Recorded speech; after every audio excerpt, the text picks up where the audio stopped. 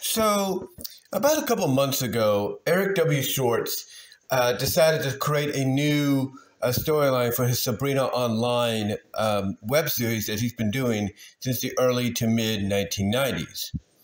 And this one, of course, is called Stripes and Links. Now, I've talked about this before uh, when it first happened, and I have to say that so far, what I've been reading along with everybody else, I think is tremendous. I think it's a great, I guess you could say, um, what, what's the word? Hold on.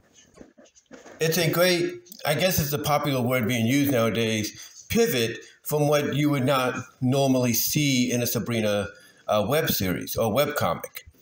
Because basically, in case you guys don't know and you need a little catching up, uh, what happens here is that uh, Zigzag in Endora, and that's spelled E N D O R A, Endora, who is Sabrina's mom, uh, went out to a bar. They're having like a girls' night out, if you will. You know, just chilling, you know, talking to jizz, if you will. And what happens is both are getting a little tipsy, you know, from drinking, you know, Zig more than anything.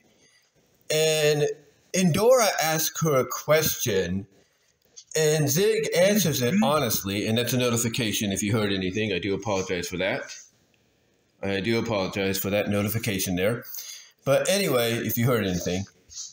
Uh, but anyway, uh, Endora asked Zigzag a question about, I guess, you know, her beauty, you know, how she looks and all that. And Zig answers, you know, very honestly, very openly, honestly, that, hey, you're still good looking and all that, right? You know, just being, you know, just giving her a friendly answer. But then Zig Zigzag takes it a step further, and she ends up kissing Endora on um, on the lips. You know, she ends up kissing her on the lips.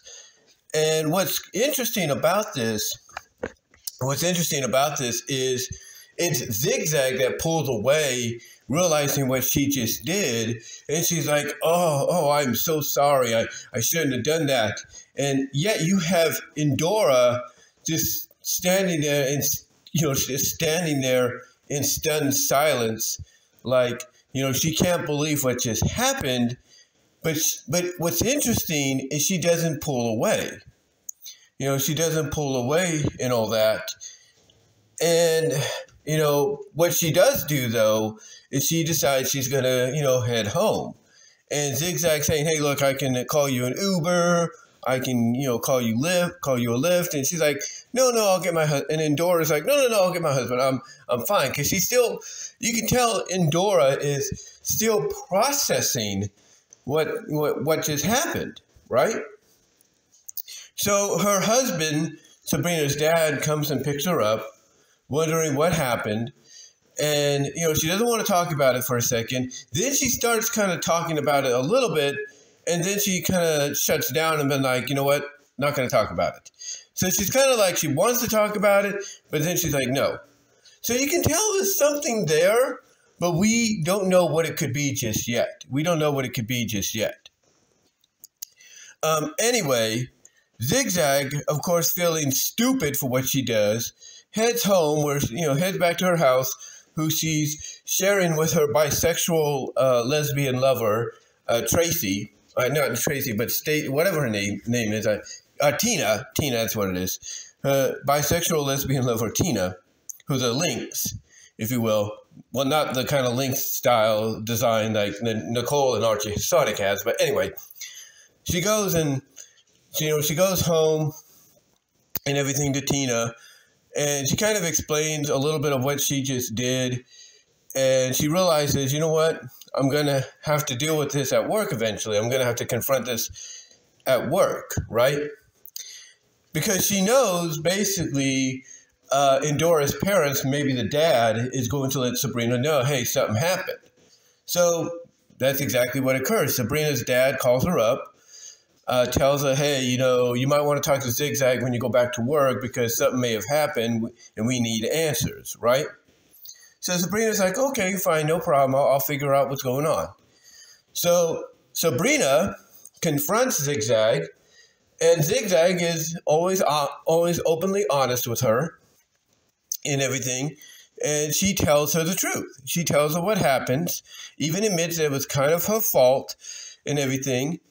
And Sabrina, you know, accepts that. She kind of accepts, okay, I get it. You didn't really mean any harm. And just to show, you know, the kind of reaction she would ex- she would have expected out of, out of Endora, uh, Sabrina's mom, she ends up kissing Sabrina right on the lips, and Sabrina just pushes her back, saying, "Hey, Zig, knock it off. You know, knock it off." And Zigzag's like, and Zigzag's response is, "See, that's the kind of reaction I expect." You know, out of someone like you or out of Endora. You know, that's the kind of reaction I would have expected. You know, and that helps Sabrina understand even more like okay i get it my you know because basically sabrina you can kind of tell is trying to put two and two together and she's realizing okay her reaction differed from what her mom's reaction was you know anyway sabrina tells her parents what happened you know or tells her dad exactly what occurred and everything. And basically basically now the next step is trying to you know regain that trust and everything that zigzag at one point had or thought she had with sabrina's parents. So you know sabrina tells zigzag she talked to them explained everything and all that. And then zigzag excuse me and then zigzag you know in the recent one tries to in the recent chapters or pages that got uploaded tries to uh, call them and talk to them herself but the father is not very happy with her. The father, you know, Endora's husband, is not very happy with, you know, Zigzag and says, you know, it'd be best if we don't talk to you if you don't call us right now or don't talk to us for a while. You know, and that basically, oh, his wife doesn't want to talk to her, period. You know, and that he's not happy essentially with with what occurred, and pretty much, you know, that's it. They hang, you know, you know, he hangs up on her. He, hang, he hangs up on Zigzag. So in the recent page that got uploaded today, Zigzag goes and talks to Sabrina, who's on her laptop at work, and she explains, "Hey, I talked to your parents, or I tried to talk to your parents, but they didn't want to hear, didn't want to have nothing to do with me. At least, you know, well, she didn't say, you know, the dad, but basically said she tried to talk to the parents, but they, you know, they didn't want to have nothing to do with her uh, for the time being." And Sabrina surprisingly uh, takes responsibility for that. She says, Yeah, I might be partially responsible for that and everything. And Zig's like, Well, what am I going to do? How am I going to smooth this over? And Sabrina's like, Look, you know, right now, it's, you know, right now, the situation is too current, it's too hot. You know, you need to maybe let things simmer down. You know, and Zig's like, you know, and Zig, you know, she's kind of conflicted. Like, she's not sure, you know, even if that would work, right? You know, so Sabrina sees, Sabrina sees, excuse me, Sabrina sees that, you know, it's bothering Zigzag, you know, and she's like, look, next time I talk to my parents, I'll try to see what I can do to try to smooth things out, kind of get you guys back on a discussion, talking, understanding level. And Zigzag then says, That's all I can ask for thank you. And then Sabrina's like, hey, don't thank me yet. And oh, don't thank me yet until I accomplish something. And then the and then they end excuse me. And then they end the recent this recent page that got uploaded today uh, on uh, Patreon. They ended with Zigzag being like, uh, you know, I kind of missed the days when I would just lure people into bed and everything instead of all this or instead of dealing with all this relationship cultivation, if you will. And, you know, Sabrina has a zing, excuse me, Sabrina has a bit of a zinger at the end, you know, when, you know, Zigzag says that she misses the days of when she used to be able to just lure people into bed, have sex with them, instead of dealing with this whole relationship cultivation stuff, you know. Z- uh, Sabrina has a, a good zinger, a good line at the end. She's like, "Oh, you're saying those days are gone," you know. uh, but anyway, anyway, that's so far up to date with the more recent page that went on to the Patreon. As I uh, get myself some coffee here for a second. And that's another notification if you heard a vibration. Another that's another again that's another notification if you heard a vibration there. I do apologize. Uh, but anyway, uh, so far, like I said at the beginning, I'm, I'm liking what I'm seeing here, and I think there might be more to this story than what's being let on, uh, than what we're already speculating and everything and theorizing as we read page after page. Because when I first talked about this, you know, I kind of alluded to the fact that I think Endora might might you know enjoy might have enjoyed it, but she's still processing it. You know, you know she's still she's still processing it and everything in her mind. And I think what's going to happen, I think what's going to happen, and some people have speculated that this is what's going to kind of break the ice a little bit to kind of get them back on, you know, speaking terms. You know, some people in the comment section on the Patreon page said that, or at least one person said this, that Sabrina could, maybe will bring up Zigzag's past. You know, bring up her, you know, traumatic past she had as a child and everything and what she went through growing up. And then hopefully that'll break the ice and maybe even acknowledge that Zigzag once told her she wished she had parents like Sabrina's. So that could be something that occurs. That could be something that happens, but we'll have to see. We will have to see and everything uh, as the weeks go on. But, excuse me, but to me, to me, I think honestly, there's going to be more than just, you know, Sabrina possibly bringing that up to try to get them to understand where, you know, why Zigzag is the way she is, why she's very, you know, affectionate and open and kind of, you know, open minded, if you will. And I think what's going to happen as well, and I brought this up as a comment myself on the Patreon page. I think Endora is hiding something. Because she want, because here's the thing, she was about to talk about it after her husband picked her picked her up from the bar, but then she stopped. Almost like almost like she was going to talk about it, but then stopped herself because maybe she was going to say something that she wants to keep hidden. You know, a secret, if you will. And I was theorizing to myself today, kind of speculating to myself today, playing it out in my mind. I'm thinking, okay, what could she be hiding?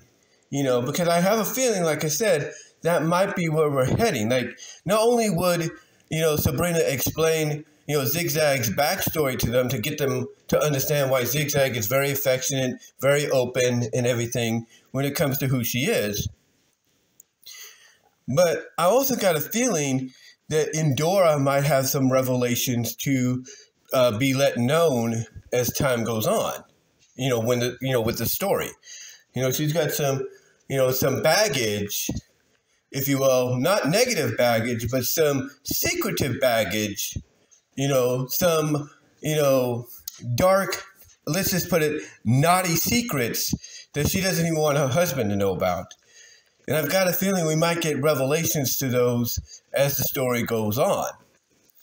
And as I was saying earlier, and as, as I was saying moments ago, I was, I, you know, this, you know, the, um, earlier this morning, I was speculating, theorizing, you know, playing this out in my running and playing this out through my mind, I've got a feeling what's going to happen is she's going to reveal to everyone that you know because I, I, again i've got a feeling that when sabrina does open up about zigzag's past and how zigzag just always wanted parents like sabrina's you know that's when endora is going to decide to open up about her past and everything and why unlike Sabrina or anybody else, she, you know, was in, you know, stunned silence after being kissed.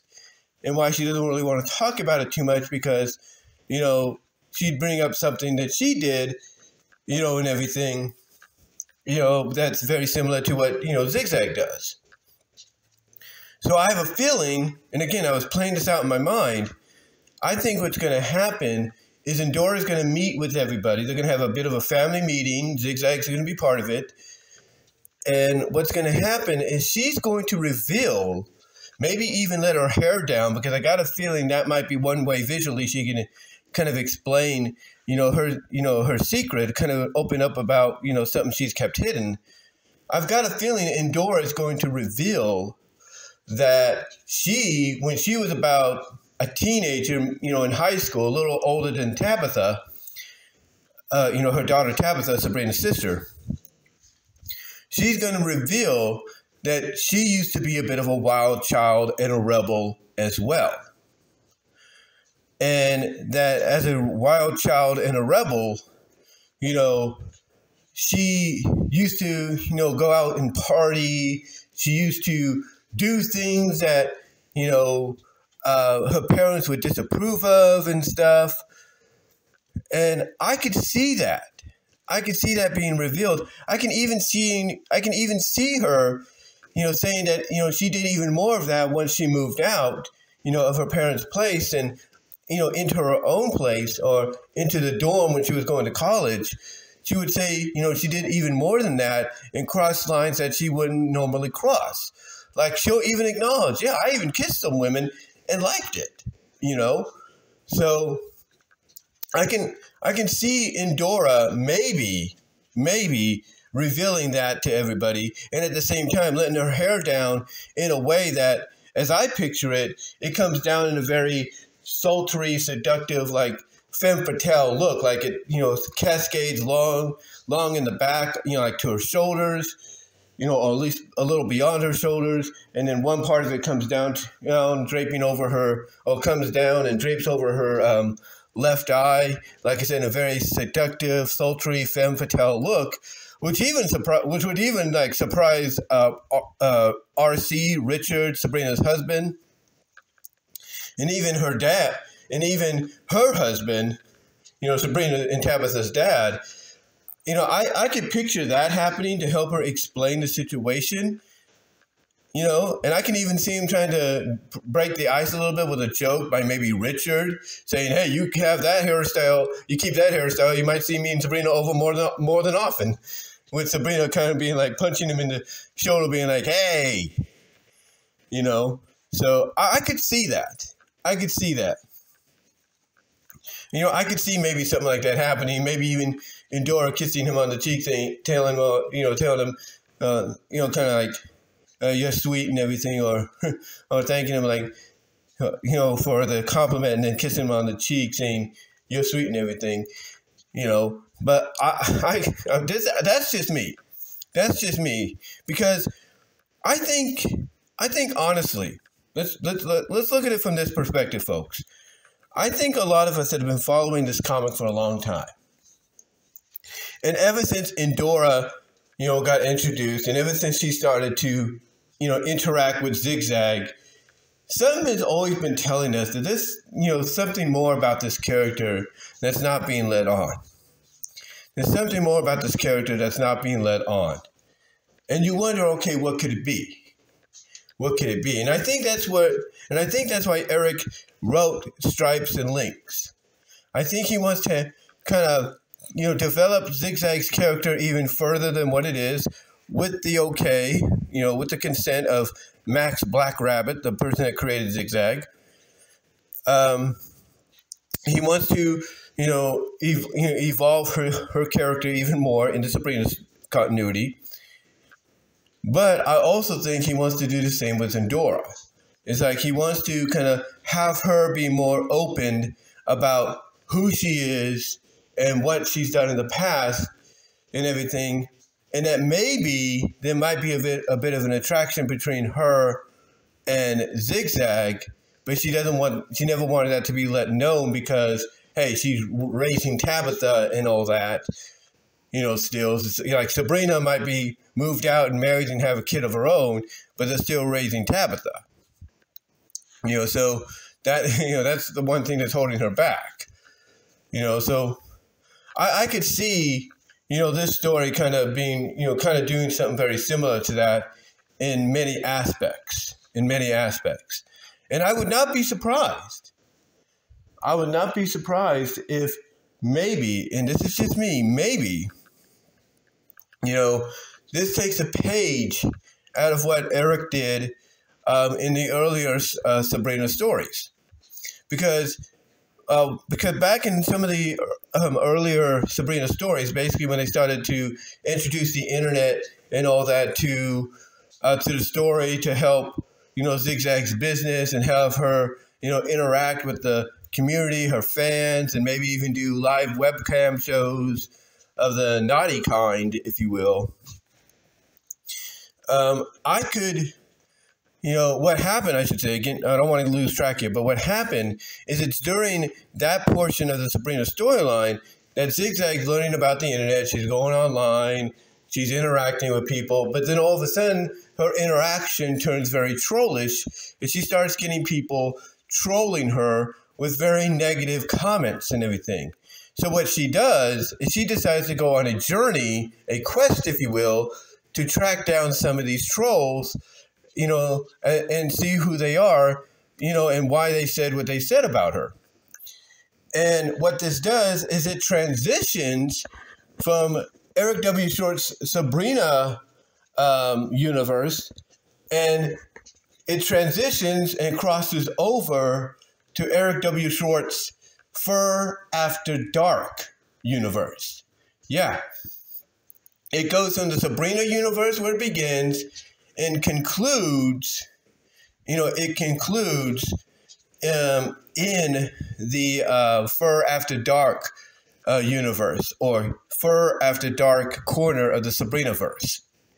So, yeah, what happens is that she goes on this journey and one of the first places she goes to is the home of a character that we got introduced to before called Helena Dish.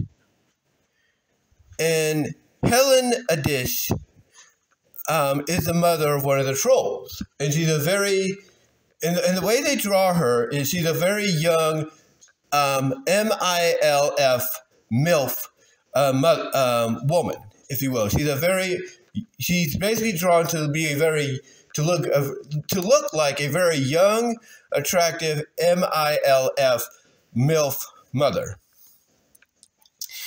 And let's just say she acknowledge she knows who Zigzag is, and she basically pretty much lets it be known she's attracted to this girl. She's attracted to her. Um, she also opens up to her uh, also opens up to Sabrina uh, Zigzag, I should say. She also opens up to her a bit, saying, "Hey, I'm I'm a single mom. You know, you know, I'm I'm divorced. I'm a single mom, and everything. But the divorce and the you know, the divorce was mutual agreed because hey, you know, he's still part of the, my son's life. You know, the the son that's trolling uh, Zigzag." But she acknowledges that hey, he was more happier with the uh, secretary, and they saw each other more often. They understood each other better, and that all she wanted was happiness for both for him and her, because you know she understood both the situation.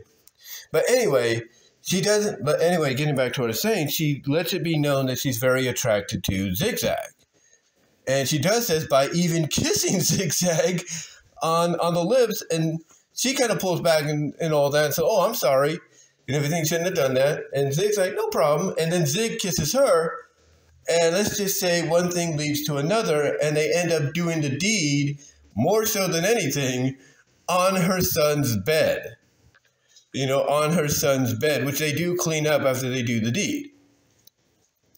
But the reason I bring this up, and by the way, the story, you know, in the Fur After Dark, in which this takes place in, is called Adventure Begins at Home or, or something like that. So I'm not going to link it because I don't want to get in trouble with the YT. Um, anyway, though, anyway, though, uh, I bring this up because I could see maybe, maybe Eric doing something similar here with Zig and, and Endora. I could see him doing something similar with them, but there would be a reason for it. And that reasoning being that Endora who may have kissed women in the past when she was younger, but never went all the way, probably wants to know what it's like to go all the way. And I think that's why we would get a Fur After Dark continuation, if not epilogue conclusion, uh, to the Stripes and Links storyline. But that's just my opinion. That's just my opinion. You know, could I be wrong about it? Absolutely. But I feel that a lot of things are leading to that point. A lot of things are leading to that point. Uh, but so far, I like what I see. So far, I like what I see, and I can't wait to see even more of what Eric has in store with the storyline.